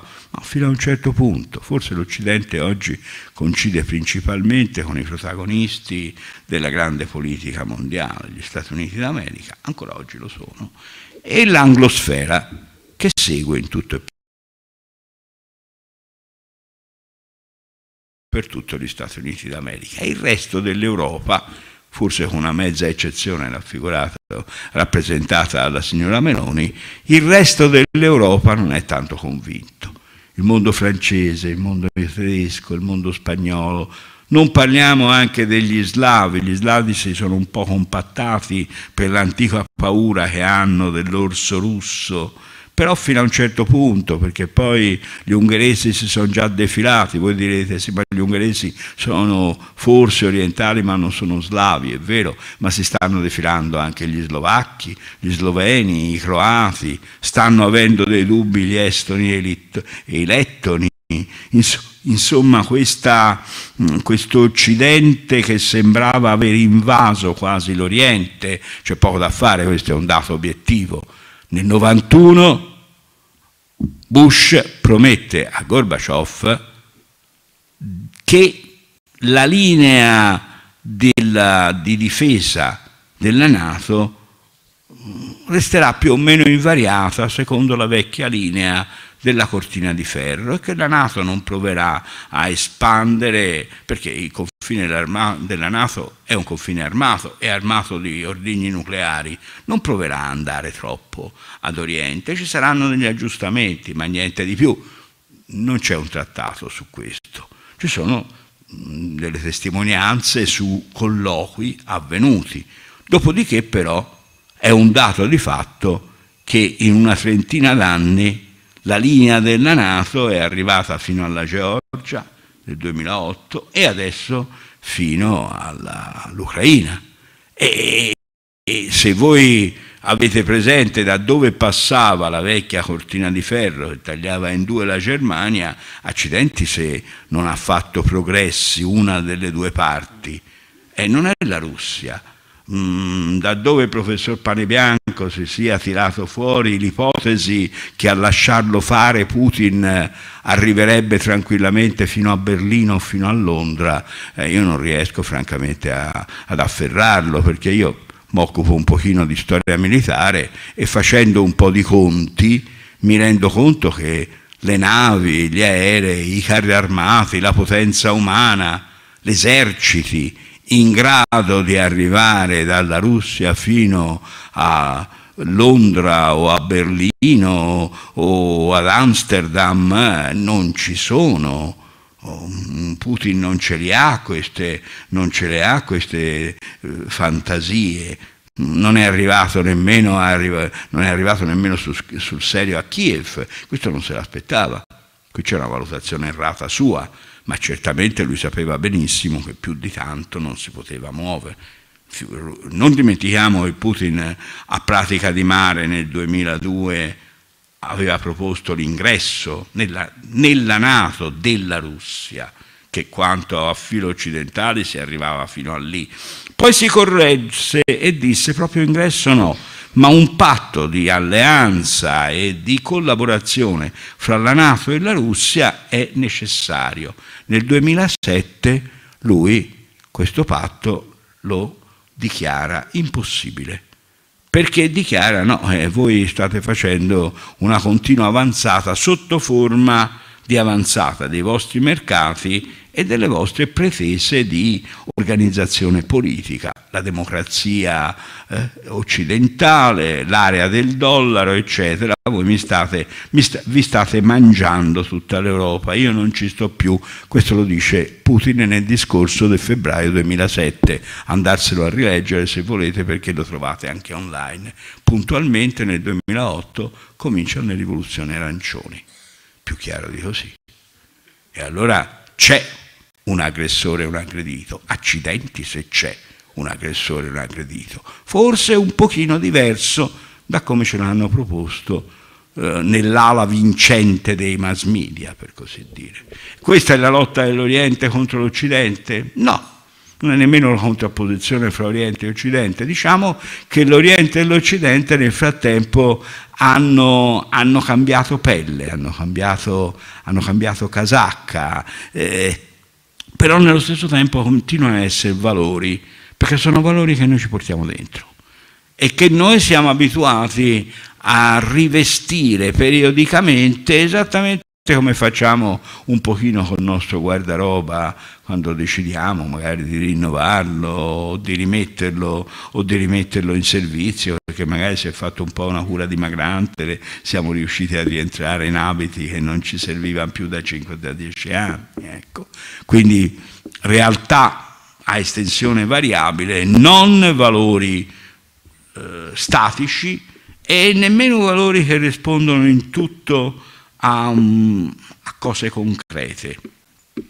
Però il fatto è che i nostri parametri eh, mentali non sono sempre necessariamente dominati soltanto dalla concretezza, ci sono anche altri valori di cui bisogna tener conto, però questo sarebbe un altro discorso, quindi arrivati a questo punto forse per vostra, per, per, perché mi fate un po' pena, forse, forse è meglio se smetto. Bene, grazie a Franco Cardini per questa lezione di